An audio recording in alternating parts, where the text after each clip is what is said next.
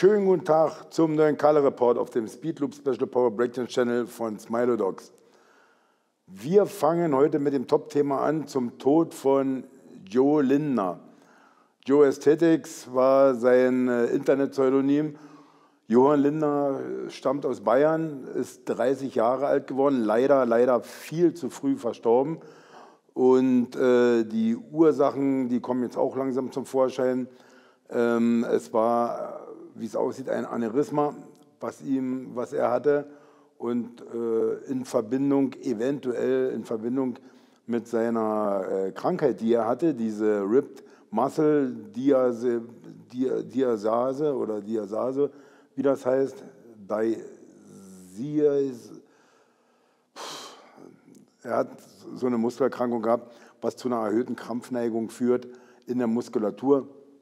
Deswegen konnte er auch so mit seiner Brust Klavier spielen, also so die Fasern spielen lassen, überall.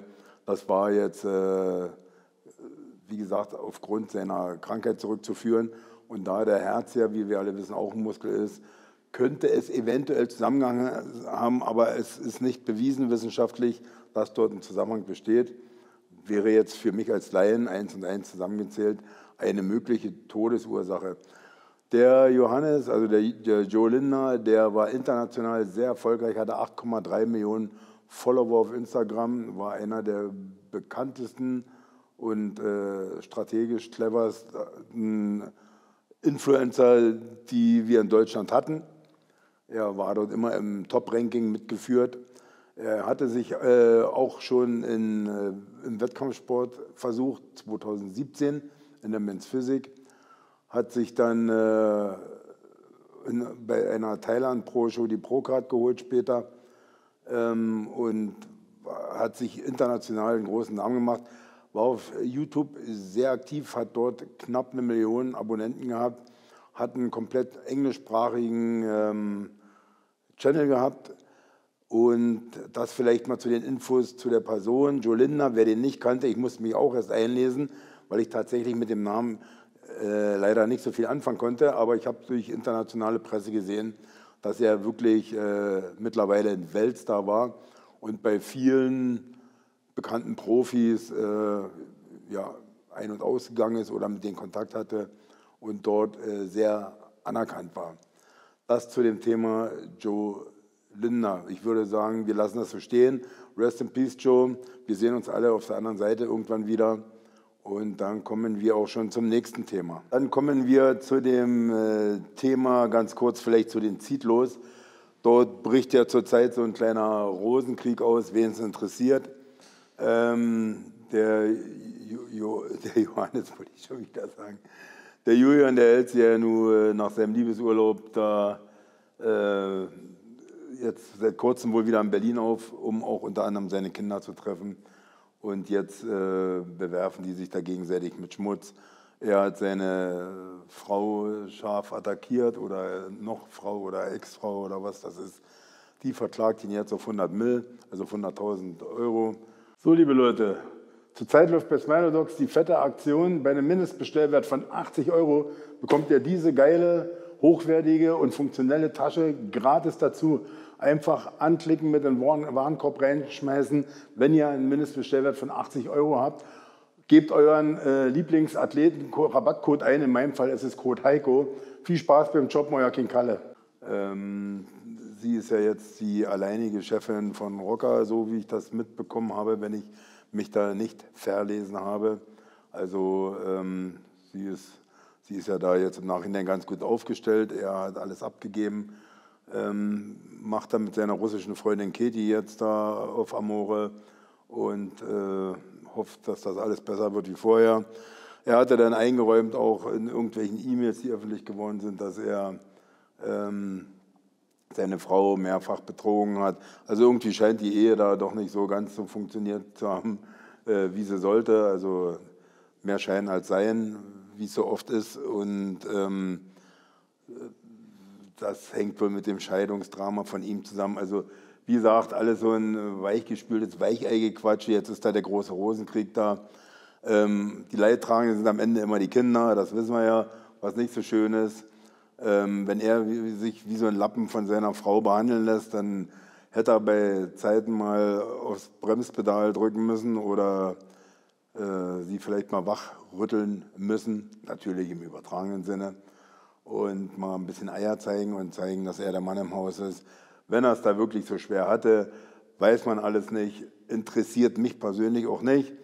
Äh, für die Veganer unter euch, die da äh, dem Rocker-Konzern äh, verfallen sind, ist das vielleicht ganz interessant zu erfahren dass da richtig gerade Beef ist und dass da finanziell die Fetzen noch fliegen werden, definitiv. Ähm, ja, äh, dass der Julian sich jetzt gefunden hat und neu starten will, ist ja auch alles schön und gut. Ich denke mal, wir werden da noch sicherlich äh, spannende News ähm, erfahren, was das angeht. Vermute ich mal ganz stark, weil so eine Typen, die rudern ja dann noch gern mal zurück, wenn sie merken, dass alles gegen äh, Baum läuft. Und die Russin, die sagt ja eigentlich ziemlich klar, dass sie mit ihm zusammen ist, um abgesichert zu sein. Und ja, wenn er sich wie so ein Freier durchbenutzen lässt, ist das seine Angelegenheit, ne?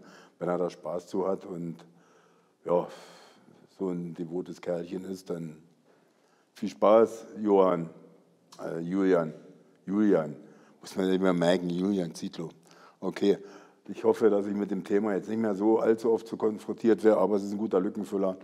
Und wir kommen zum nächsten Thema. Und zwar der liebe Patrick Teutsch, der ja schon äh, im vergangenen Jahr viele Schlagzeilen gemacht hat, um seinen Karrierestart im Bodybuilding, so nenne ich es einfach mal, hat er ja gut abgeliefert, kam von den Naturalen, hat äh, eine gute Form gehabt, wollte jetzt endlich Muskeln haben, wollte den Naturalsport beiseite legen, hat sich äh, die Profilizenz geholt, ist bei dem Profi gestartet.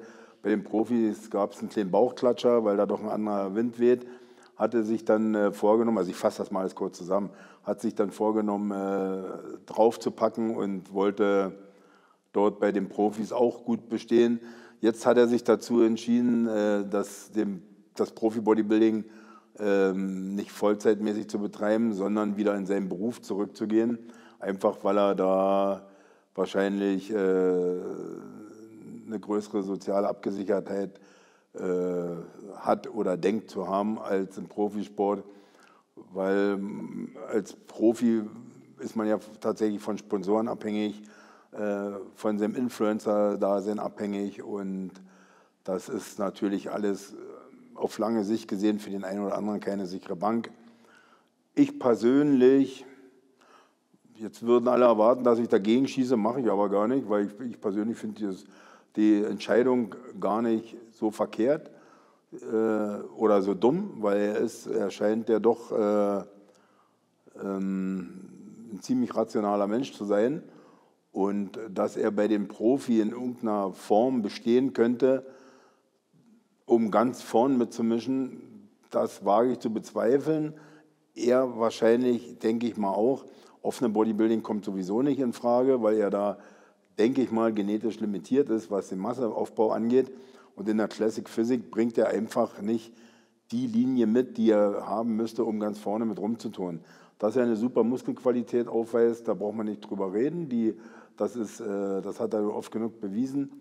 Aber um, wie gesagt, ganz vorne mitzumischen und sich seinen Lebensunterhalt dort zu verdienen, das ist halt doch ein bisschen schwerer. Und, und so im Mittelmaß oder im hinteren Teil rumzuschwimmen, was äh, Social Media angeht, ist äh, als Lebensgrundlage, wenn man jetzt jung ist und vielleicht noch Familienwunsch hat und, und, und, dann äh, doch nicht so der ganz sichere Weg. Ne?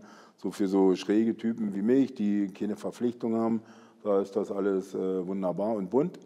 Aber für Leute, die nachhaltig, also die jung sind und nachhaltig arbeiten wollen, ist das schon ein ziemlich äh, riskanter Schritt. Und deswegen, äh, ich begrüße es nicht, aber ich finde es okay, wenn er sich zu diesem Schritt entschieden hat.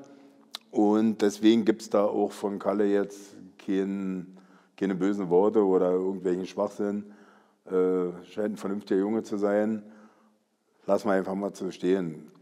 So, dann kommen wir zum nächsten Thema. Und zwar Nick Walker äh, hat so ein bisschen naja, gegen Hardy geschossen, kann man das nicht nennen. Aber äh, Nick Walker ist ja so, äh, ja, er Klappern gehört zum Handwerk und er nimmt das sehr, sehr wörtlich. Ne? Er, er gibt ja öfter mal so ein paar coole Statements von sich, die ich ja eigentlich auch feiere. Nur hat er aber äh, über Hardy Chopin gesagt, nachdem er gefragt wurde, wie er die Mr. Olympia-Chance von ihm einschätzt, dass er mit anderen Worten eine Eintagsfliege ist und äh, den Titel nicht mehr gewinnen wird. Äh, er schätzt das aber auch so bei sich, wenn er den Titel gewinnen würde und dass er den nicht in Serie gewinnt. Es ging darum, ob, die, ob es möglich ist, die, diesen Titel äh, momentan in Serie zu gewinnen für die Athleten, die dort starten. Ich bin der Meinung, ähm, ist sehr schwer, das Ding zu wiederholen oder äh, zu dribbeln. Aber äh, man soll ja niemals nie sagen. Ich persönlich glaube auch nicht, dass Hardy dieses Jahr gewinnen kann oder gewinnen wird. Ich sehe da, ich habe da andere Favoriten, aber das wird man dann alles sehen, wenn es soweit ist. Ich kann mich ja auch täuschen. Auf alle Fälle findet äh, der Nick Walker, wer den nicht kennt, das ist so ein junger Mann, der extrem mutiert ist in den letzten Jahren. Feiere ja total, richtiges Masseschwein, hat einen fetten Ärmel dran ohne Ende, also ist wirklich äh, so ein Bodybuilder, wie man sich vorstellt. Hat jetzt vielleicht nicht die schönste Linie von vorn, dadurch, dass er sehr kurze Beine hat, aber ist ein anderes Thema. Ähm, auf alle Fälle bin ich der Meinung, bei dem Erfolg und bei dem Status, den er momentan hat, wäre es ratsam für ihn, also würde ich jetzt so sehen, dass er seinen Mitkontrahenten gegenüber ein äh, besseres soziales Verhalten an den Tag legt. Also sprich, da nicht nur die große Fresse hat, was er sich ja eigentlich leisten kann, aber es kommt doch sympathischer rüber, weil er hat ja auch eine Vorbildfunktion mittlerweile.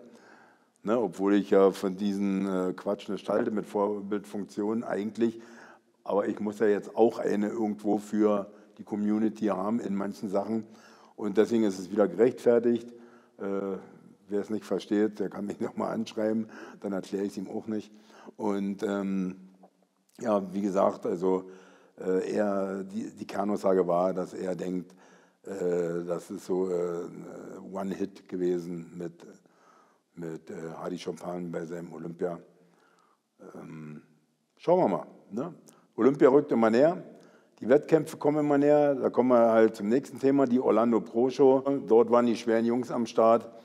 Äh, klarer Favorit war meiner Meinung nach äh, Mustafa Mohammed. Und ähm, jetzt hat aber der dort nicht gewinnen können, weil dort kam der 49-jährige Jamaikaner Phil Clare, Phil Clare, oder ja, ich spreche mal so aus, hat keiner auf dem Schirm gehabt, war seine erste Profishow, hat sich das Ticket für Olympia geholt. Ähm, Glückwunsch an der Stelle, aber ich äh, habe ja nur so ein bisschen äh, mir die Sache angeguckt da und ich kann nicht verstehen, wieso man äh, den Mann dort vor einem Mustafa Mohammed gewinnen lässt, weil äh, gut, der Mustafa Mohammed hat nicht die Linie wie der Phil, aber er ist viel kompakter, er weist viel mehr Fleisch auf und ich bin mir nicht sicher, oder doch, ich bin mir ziemlich sicher, dass der Phil auf dem Olympia gar keine Rolle spielt. Null, nada. Entweder hat er äh, gute Connection oder was, dass er sich das Ding da holen konnte. Ich hätte viel lieber den Mustafa Mohammed dort gesehen auf dem Olympia, weil wenn der in Form kommt, dann ist das ein äh, Top-10-Kandidat auf alle Fälle. Und äh, wie gesagt, der Phil, der wird mit den dünnen Beinen und äh, das sieht ja aus wie so ein mutierter Classic Physik-Typ. Äh, Hut ab vor dem Alter, 49 Jahre, sich da so in Form zu bringen und dann auch noch gefährlich zu werden für die Leute. Aber ich sehe da wenig Sinn drin, solche Leute auf Olympia zu schicken und äh, den gegen den Mustafa Mohammed verlieren zu lassen. Andererseits muss man natürlich auch ganz klar sagen, der Mustafa, äh, der muss endlich mal lernen zu posen, weil das fällt ihm offensichtlich richtig schwer. Der kriegt keine vernünftige Doppelbizeps-Pose von vorne hin. Und das ist ja nun mal die erste Pose, wo die Kampfrichter schon mal schauen, äh, was bringt der Junge mit. Und wenn du die verkackst und da deine Arme nicht richtig positionieren kannst und die nicht richtig aufmachen kannst, äh, dann äh, wird es natürlich schwierig, in den weiteren Posen zu punkten, auch wenn das dann besser rüberkommt. Wenn die Doppelbizeps sitzt zum Anfang und alle Folgeposen okay sind, dann wird man immer besser dastehen, als wenn man das erste Ding verkackt und die anderen dann äh, tatsächlich besser sind, ist meine Meinung. Aber wie gesagt, es ist ja noch nicht aller Tage Abend. Der Mustafa, der hat ja noch Zeit, sich zu qualifizieren. Bis äh, Mr. Olympia ist ja noch ein bisschen Zeit und ein paar Quali-Shows liegen ja noch dazwischen. Und ich würde sagen, in diesem Sinne beschließen wir den Kalle Report mit Peace and Love and Rock'n'Roll, so wie immer. Euer King Kalle.